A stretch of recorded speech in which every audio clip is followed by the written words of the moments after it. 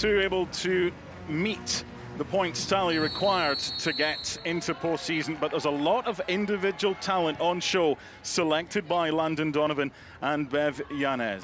But also you want to think about the players and their safety.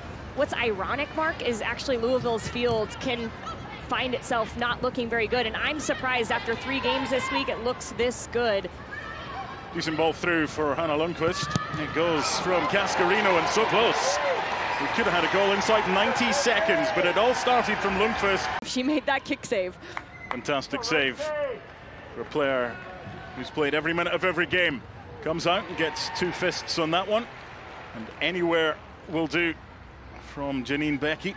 It's corner number two, a bright start. From the home side, playing away from home. That's a great delivery and all the way in. A goal just after two minutes. The deadlock is broken, and it's San Diego Wave who have the lead. Well, that is exactly how you would write up the first couple minutes of this game away from home. You're the home team, and Jaedyn Shaw just sends it into the mix. And with those runs across the face of Katie Lund, she has to be mindful of them. It doesn't even get a touch, but she's going towards the near post like Carusa is going to get a touch. And then Carusa last second can't get there, ends up sneaking in the back of the net. That's what we call a perfect shot cross there, Mark.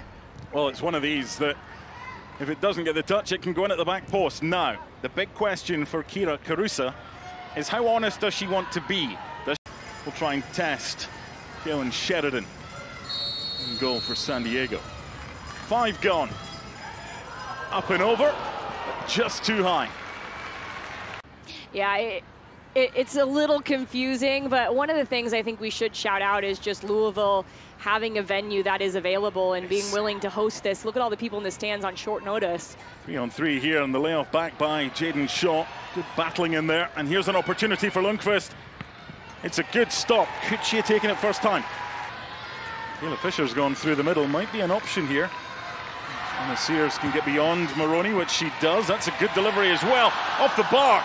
Whether or not goalkeeper Kailen Sheridan got a touch. Free kick too in this moment, but on the other side, this is the best attack we've seen from Louisville, and this is what they want. Emma Sears sizing up 1v1, long touch, athletic ability to get past Maroney here, and that's the target you want. Bethany Balcer was brought in this team to be their nine, their goal scorer, the player that can find the back of the net for them. And she's done that two times since she came over. The width is being utilized by both sides. End-to-end -end stuff now, heavy touch, and the challenge coming in from Ellie Jean wasn't good enough. No.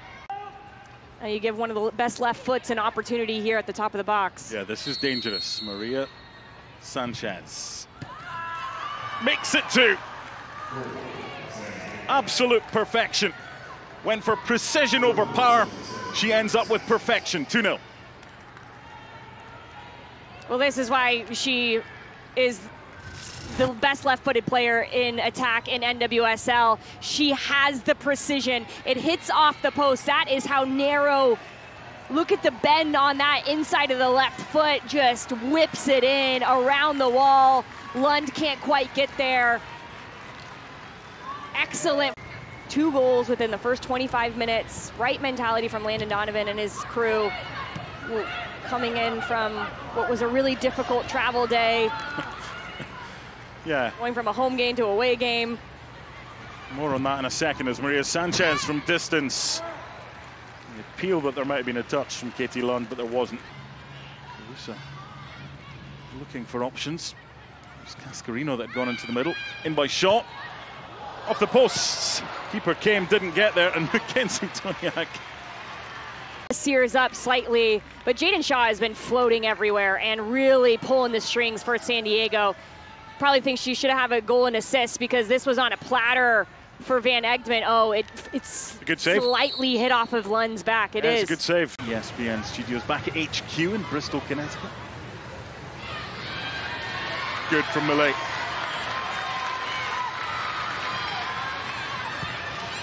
By Balcer. Not quite from Becky, but that was a good run. She realised she had a little bit of pressure. The only issue for Bev Yanez will be that she hasn't been troubled enough in this first half. Can she be from Louisville's first corner?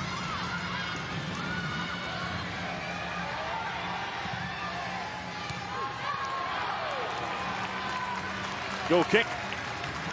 Just wonder if they're maybe going to sit on this lead or they are going to try and hit on the counter or maybe press forward like this. The layoff by Shaw and the effort from the sub, Ali.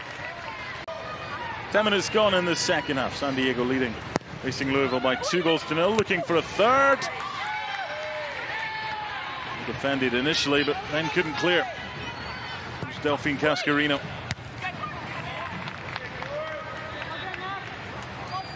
Can't clear their lines here, Racing Louisville. Oh. Good feet by Doniak. Big opportunity. And then off the bar by Makenzy Doniak. And that's San Diego's season in a nutshell right there. Isn't it just? Action from Sanchez, and this is a player with such a good story. Grew up having to play with the boys because Three quarters of the way through proceedings, the Lynn Family Stadium in Louisville. They're coming forward again. See if there's any quality on the end product. There was there, and the follow-up is in. It's game on, and it's one back for Louisville. They just needed quality from wide areas. They get it. And now they'll fancy their chances of taking something from this game. on this side, and then it's a good progression. Gorgeous to DeGrande, and then this ball from Courtney Petersen is so good. The run from Fisher comes from deep, so she can time it here to perfection. Ends up going off the post, but this is what Bethany Balcer has made her living out of. Being in the right place, keeping herself alive. Look at her just guide her body, watch where the ball is going once it goes on frame, and readjust so she's in the right place at the right time. Savannah McCaskill pulls her on side. That's going to be a really nice team. It's a good ball. Just a simple but a very effective pass for Savannah McCaskill. Here's an opportunity for Jaedyn Shaw. Oh. Plenty power. The goalkeeper, Sheridan.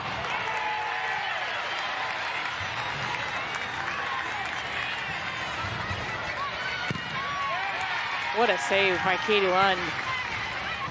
Katie started to dive where she thought the ball was going, and we all thought the ball was going. 15 to go. This is a good spell for San Diego. It's like the missing Louisville goal has re-energized them. Looking for another one. They get it through Savannah McCaskill. The substitute only on the field for nine minutes makes it San Diego 3, Louisville 1. And where does it start, Mark? It's on that right side where they've had joy all year long. Some fans made the trip. Probably some McCaskill fans because she grew up in South Carolina. Not maybe one of the closest places they can come and see her play here in Louisville. And this ball goes through, and look at the work from Cascarino. She already knows where the run should be. So it's your it's your job as the runners in the box to fill in those gaps. And here, Savannah McCaskill comes in as a late substitute, just jumps up and over, heading this one into the back of the net. That's what's nice about the fluidity of this system. She comes in typically at 10, but can fill in at any position. Here's Kayla Fisher.